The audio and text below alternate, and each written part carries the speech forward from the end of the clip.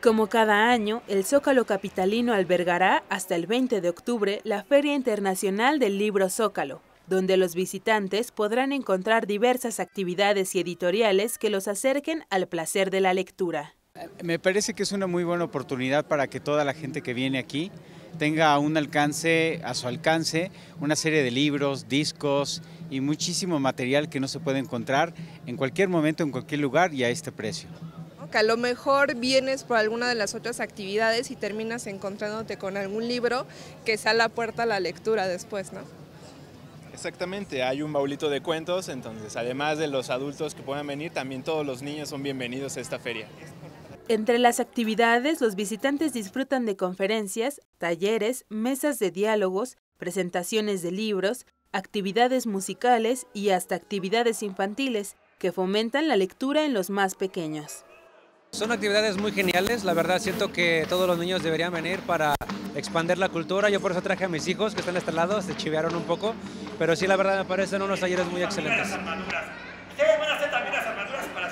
Es correcto que sea de una forma amplia, que se abarque todos los géneros, todas las edades. De esta manera podemos alcanzar a traer a la familia y estar todos juntos en un mismo lugar, en un mismo momento, para disfrutar este, este tipo de eventos.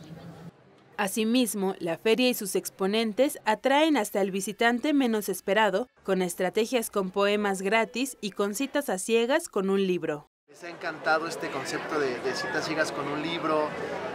Vienen, toman fotos, se ponen a leer las frases que están en los libros.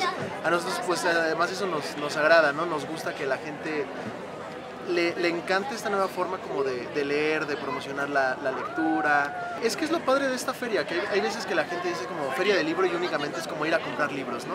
O sea, no pueden aprovechar todas las actividades que hay dentro de esta feria porque hay talleres, talleres de serigrafía, talleres de, creación literaria, talleres de separadores de libros, foros, por ejemplo, hay presentaciones de libros, charlas, eh, hay debates todas las actividades son completamente gratuitas y además está muy padre porque además en esta feria hay un espacio de, de, comida, ¿no? Entonces tú puedes llegar desde tempranito, comes, vas a ver una presentación de libro, vas a comprar un libro y puedes aventarte aquí todo el día.